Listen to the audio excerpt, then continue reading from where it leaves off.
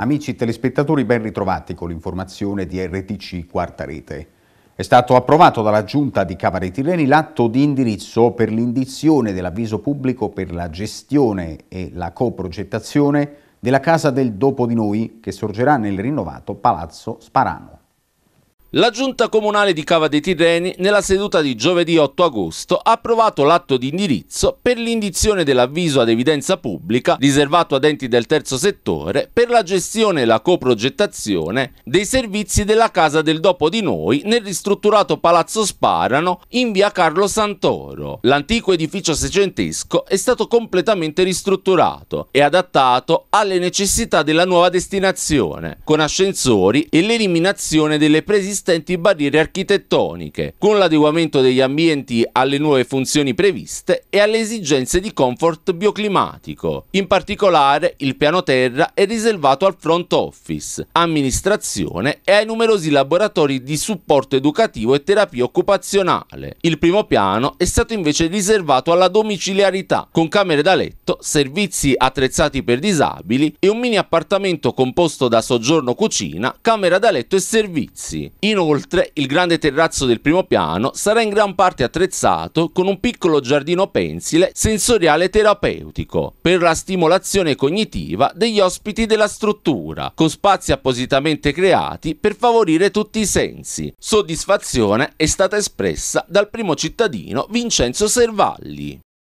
E sono veramente molto contento perché questo era un mio obiettivo un nostro obiettivo che avevamo indicato già nel programma del mio primo mandato, e cioè quello di dare un segnale eh, di grande civiltà, a mio avviso, realizzando da parte di un'amministrazione pubblica, di un comune, un dopo di noi, cioè un luogo nel quale eh, un domani eh, delle persone con disabilità adulte possono trascorrere il loro tempo e la loro vita in un contesto molto simile a quello della famiglia, a quello del nucleo familiare, a quello della propria abitazione. Uh, uno dei problemi che il nostro Paese ha rispetto alla disabilità è che uh, c'è un certo livello di assistenza anche significativo, importante, l'Italia ha una legislazione di avanguardia da questo punto di vista, uh, per le persone con disabilità, per i bambini. Poi a un certo punto, quando fanno 18 anni questi ragazzi, si perdono un po' dall'ottica anche delle istituzioni e eh, soprattutto poi i genitori che sono quelli che poi si fanno il maggiore carico durante il percorso di vita di questi ragazzi cominciano ad avere la preoccupazione di che cosa accade per questi ragazzi una volta che poi come il normale ciclo della vita i genitori o non ce la fanno più o non ci sono più perché nessuno di noi è eterno per stare vicino a questi ragazzi. Allora il dopo di noi, la risposta alla preoccupazione dei genitori di che cosa accade al loro bimbo, ragazzo, giovane, adulto, disabile una volta che loro non ci sono più. Insomma, ehm, era un obiettivo importante. Cava dei Tirreni da questo punto di vista dà un segnale di grandissima avanguardia in relazione alle dichiarazioni del ministro Calderolli sulla spesa delle regioni e il raffronto tra Campania e Veneto, i dati forniti sono fuori della realtà. Intanto perché non si chiarisce se sono riferiti all'ente, regione o in generale alla spesa pubblica. In ogni caso sono cifre del tutto spropositate, è quanto si legge in una nota diramata dalla Regione Campania per fare chiarezza sull'argomento. Per quanto riguarda i costi energetici, prosegue il testo, la Regione si muove nell'ambito di un contratto con SIP su cui pesa una penale del 10% dovuta a pendenze risalenti a tempi passati e fatturati a carico della Regione. Andrebbe poi fatta un'analisi seria dei servizi gestiti dal pubblico o dal settore privato. I depuratori in Campania sono tutti a carico del pubblico, diversamente che in altre regioni. Dunque il raffronto tra la Campania e il Veneto non ha alcun fondamento reale. Sarebbe bene, precisa infine la Regione Campania, evitare operazioni di pura demagogia con numeri campati in aria che nascondono le sperequazioni reali relative al divario di spesa pubblica allargata tra nord e sud e nasconde soprattutto un dato scandaloso relativo al riparto del Fondo Sanitario Nazionale, nell'ambito del quale la Regione Campania ancora oggi è la più penalizzata d'Italia derubata nell'ultimo decennio di almeno 2 miliardi e mezzo. La cronaca, controlli straordinari della Polizia di Stato venerdì sera nelle zone della Movida del comune di Nocera. Vediamo. La Polizia di Stato ha svolto un'operazione straordinaria di controllo del territorio nel comune di Nocera. In particolare sono stati effettuati numerosi controlli durante la serata di ieri, venerdì 9 agosto, lungo le vie della città ad alta presenza di veicoli in transito, nonché nelle zone pedonali del centro frequentate da molte persone. Particolare attenzione è stata dedicata anche alla zona della stazione, densamente frequentata anche negli orari serali, soprattutto da cittadini stranieri. I controlli su strada sono stati svolti con gli equipaggi del reparto prevenzione crimine Campania. Inoltre, nella zona della Movida sono stati sanzionati due esercenti in quanto sorpresi dagli agenti del commissariato di Nocera Inferiore a somministrare alcol a minori. Infatti, in un circolo, l'esercente è stato beccato mentre mesceva bevande superalcoliche a dei ragazzi, di età compresa tra i 16 e i 18 anni. Inoltre, sono stati controllati alcuni distributori automatici che per legge devono verificare l'età del cliente prima di poter erogare la bevanda alcolica. Uno di questi è risultato irregolare e quindi il relativo esercente sarà sanzionato amministrativamente. Complessivamente sono state controllate circa 170 persone e 70 veicoli. I controlli hanno riguardato gli avventori della Movida del centro cittadino. Costiera Amalfitana, carabinieri, associazioni ed enti locali uniti per contrastare le stragi del sabato sera attraverso l'iniziativa Bevi consapevole. Al via il 14 agosto l'iniziativa Bevi consapevole, nata con l'obiettivo di prevenire gli incidenti stradali dovuti all'abuso di alcol e aumentare la consapevolezza, in particolare nei giovani, sul tema del consumo responsabile di sostanze alcoliche. L'Arma dei Carabinieri di Amalfi si è fatta promotrice di questa iniziativa coinvolgendo il Rotary Club Costiera Amalfitana unitamente al Dipartimento Dipendenze dell'ASL Salerno. Si tratta di un progetto che prevede una serie di presidi notturni nelle aree della Movida in Costiera Amalfitana dove chi lo desidera potrà sottoporsi gratuitamente all'alcol test, accertando così le proprie condizioni prima di mettersi alla guida. L'idea progettuale è nata durante gli incontri sulle tematiche della legalità tenuti dall'Arma dei Carabinieri in un istituto di istruzione superiore di Amalfi. In tali occasioni si è reso evidente il bisogno di far comprendere ai ragazzi gli effetti concreti che l'alcol produce sull'organismo, al fine anche di far comprendere loro il perché delle norme previste dal codice della strada. I giovani che si sottoporranno al test riceveranno una consulenza qualificata sia sugli effetti che l'uso di sostanze alcoliche produce nell'organismo, in particolare quando si guida, sia sul relativo quadro normativo e regolamentare vigente. I carabinieri garantiranno un appoggio logistico, il Rotary Club Costiera Amalfitana garantirà personale medico volontario, la rete farmacie Costa d'Amalfi fornirà gratuitamente l'etilometro e kit monouso sterili per effettuare i test, il Comitato Croce Rossa Italiana della Costiera Amalfitana garantirà personale volontario, gazebo e automedica e i locali Forum dei Giovani contribuiranno a creare un'atmosfera di piacevole intrattenimento. Le giornate in cui verranno predisposti presidi nei vari comuni della costiera sono il 14 e il 28 agosto a Maiori, 17 e 21 agosto a Positano, il 24 agosto ad Amalfi. Sversamenti fuori controllo in mare. Il sospetto di scarichi illegali di acque nere di diportisti poco distante dal porto turistico Marina d'Arechi. Mare sporco, il sospetto di scarichi illegali di acque nere di diportisti poco distante dal porto turistico Marina d'Arechi, caldo o non caldo eccessivo, il mare salernitano durante alcuni giorni della settimana ed in modo particolare nei weekend diventa impraticabile per la presenza di residui in mare che fanno pensare a scarichi di acque nere di imbarcazioni. Urge incrementare i controlli per salvare l'estate e questi giorni di Ferragosto in spiaggia. Un appello è quello rivolto dal consigliere comunale capogruppo di Oltre Donato Pessolano al sindaco di Salerno, al prefetto, alla capitaneria di Porto e al presidente di Marina d'Arichi Agostino Gallozzi affinché si possa procedere a svolgere tutte le azioni necessarie per attenzionare questo fenomeno che macchia la qualità delle acque salernitane. Purtroppo mi sovvengono spesso segnalazioni da parte dei, dei bagnanti che eh, lamentano questa, questo mare purtroppo sporco e chiaramente soprattutto prossi nel, nella prossimità del, del, porto Marina d'Arechi eh, spesso mi eh, riferiscono che ci sono eh, dei fenomeni di eh, abbandono eh, di scarico di li, liquami da parte delle imbarcazioni dei diportisti che prendono il largo chiaramente, io aggiungo eh, per essere un po' più scarichi e continuare la navigazione in maniera più leggeri. Io eh, penso che eh, bisogna intervenire sinergicamente eh, un po' tutte le autorità competenti, sia per ciò che riguarda magari con dei droni e chiaramente controllare proprio nei prossimità di questa struttura, sia da terra chiaramente con controlli di registri del carico e scarico appunto dei, dei rifiuti che si trovano sulle imbarcazioni.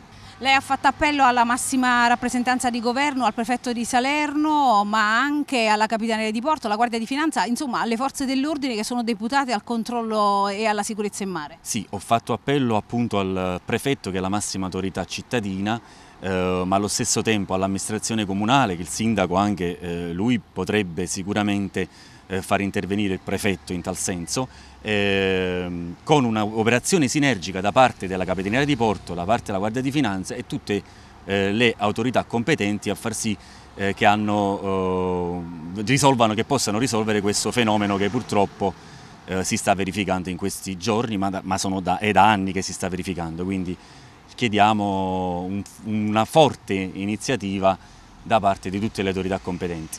Io ho segnalato quello che in effetti i cittadini bagnanti mi hanno eh, posto all'attenzione, ma sicuramente il fenomeno non riguarda solo chiaramente la, il Marina d'Arechi, riguarda tutte eh, le strutture che possono avere dei, eh, portisti o anche eh, semplicemente le, le navi di, di carico e scarico merci del porto. Eh, per questo ho fatto appello a far sì che si creino, si, si, si mettano in campo dei droni che possono verificare e vigilare su tutta la, eh, la costa salernitana. Il comune di San Marzano sul Sarno accede a una serie di finanziamenti per le attività sportive destinate ai giovani. Il comune di San Marzano sul Sarno è riuscito ad accedere a un finanziamento di 20.000 euro per permettere di mettere in atto dei progetti che riguardano lo svolgimento di attività sportive per i giovani cittadini dai 6 ai 17 anni, grazie ai fondi provenienti dal PNRR che sono stati resi disponibili in base alle normative vigenti emanate dall'autorità garante per l'infanzia e l'adolescenza. L'amministrazione comunale del primo cittadino Andrea Annunziata dunque ha ottenuto il posizionamento in graduatoria insieme a un esiguo numero di altri comuni che avranno accesso al finanziamento, che darà modo di raccogliere le manifestazioni di interesse per attuare programmi di promozione del diritto allo sport per minorenni. Il progetto viene reso noto dall'amministrazione comunale ed è stato fortemente voluto dal consigliere con delega allo sport Biagio Calabrese, il quale si è attivato subito dopo l'insediamento dell'assise cittadina, che risale allo scorso 11 giugno, per produrre tutta la documentazione necessaria per offrire ai piccoli cittadini questa nuova possibilità. La progettazione è poi arrivata in giunta comunale con la collaborazione dell'assessore Colomba Farina ed è stata approvata sotto forma di delibera e a breve vedrà la sua realizzazione. Ci possiamo fermare per qualche istante. Dopo dieci anni di esperienza nel mondo della comunicazione e della pubblicità, Cava Sviluppo Communication amplia i suoi servizi. Con il nostro team di professionisti affianchiamo la tua azienda dalla progettazione del brand e del logo. La seguiamo passo dopo passo nella comunicazione rivolta ai clienti. Creiamo il tuo sito internet ed e-commerce per la vendita di prodotti online, ma progettiamo e realizziamo per te anche materiale pubblicitario come cataloghi, brochure e packaging del tuo prodotto. Uno dei nostri punti di forza è la produzione di format televisivi e radiofonici, video promozionali e spot pubblicitari. E ancora, creiamo contenuti e gestiamo le tue pagine social. Loro ci hanno già scelto. E tu cosa stai aspettando?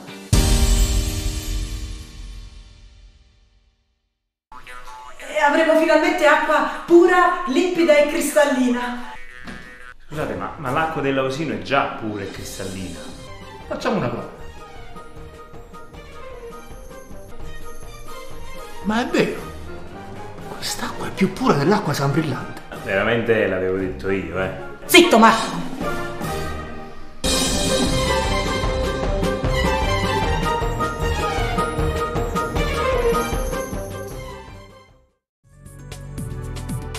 Previsioni per oggi. Nel pomeriggio, sulle coste, cielo sereno o poco nuvoloso. In montagna, cielo sereno o poco nuvoloso. In serata, sulle coste, cielo sereno o poco nuvoloso. In montagna, cielo sereno o poco nuvoloso. Previsioni per domani. Al mattino, sulle coste, cielo sereno o poco nuvoloso. In montagna, cielo sereno o poco nuvoloso. Nel pomeriggio, sulle coste, cielo sereno o poco nuvoloso. In montagna, cielo sereno o poco nuvoloso.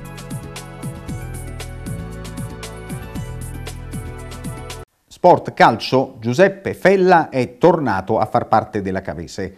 L'attaccante ha espresso i suoi buoni propositi per la stagione 2024-2025. È Giuseppe Fella il giocatore di maggiore esperienza tra quelli che sono attualmente nella rosa della Cavese. Attaccante arrivato in prestito dal Palermo con obbligo di riscatto, dopo la stagione fatta a Latina, compirà gli anni proprio domani e dovrebbe fare il vice capitano nel caso la fascia dovesse essere indossata da Luca Piana. Questo si era visto nei primi test stagionali. È un classe 1993, per caratteristiche gradisce giocare qualche metro dietro alle punte, ma non disdegna il ruolo del centravanti. 11 gol nel campionato di Serie D 2017-2018, più altri due nei playoff. Altri 11 gol li ha segnati nel successivo campionato di C, senza qualificazione ai playoff. Questo sempre con la maglia della Cavese, e diverse sono state le belle giocate offerte da Fella, il che lo ha fatto entrare nei cuori dei tifosi aquilotti. Ascoltiamo le sue impressioni due settimane dopo il ritorno alla Cavese. L'emozione sarà tanta, sono contento e mm, so il calore della piazza, so che sono visto molto bene, voluto bene darò tutto me stesso per uh, ripetermi come le annate fatte e speriamo di, di ottenere ottimi risultati di squadra prima di tutto. Il duo d'attacco che dovrebbe arrivare al campionato di Serie C dovrebbe essere composto da Fella e Sorrentino. Con Daniele mi trovo molto bene, anche perché siamo in camera insieme, c'è un grande feeling, eh, un ragazzo eccezionale e ci capiamo che diciamo, abbiamo la stessa idea di calcio. E siamo simili a livello calcistico e ci alterniamo una volta uno avanti e una volta l'altro dietro, profondità, eh, cerchiamo di, di svariare sempre. Nelle ultime stagioni Fella ha fatto più fatica a giungere alla doppia cifra quanto a gol segnati Potrà riprovarci, ma è ugualmente importante che la Cavese resti tra i professionisti, che è l'obiettivo minimo. Non mi sono posto un limite, diciamo, io so, voglio che la squadra si salva al più presto possibile, che ci divertiamo e facciamo un grande campionato. Giuseppe Fella fisicamente sta bene, avendo cominciato la propria preparazione col Palermo già ai primi di luglio. Può dunque fare la differenza in questa fase dell'anno per gli Aquilotti. Sì, diciamo che fisicamente sto bene, ho fatto un altro ritiro, eh, si sentono un po' le gambe, la, pesantezza delle gambe, però stiamo trasformando e alleggerendo tutto, poi quel che verrà verrà, cioè, non mi interessa fare 10-15 gol, sono contento che la squadra si salva, poi che ben venga la doppia cifra. Il telegiornale è terminato, l'informazione di RTC Quarta Rete ritorna alle prossime edizioni. Grazie per la cortese attenzione, buon proseguimento con i nostri programmi.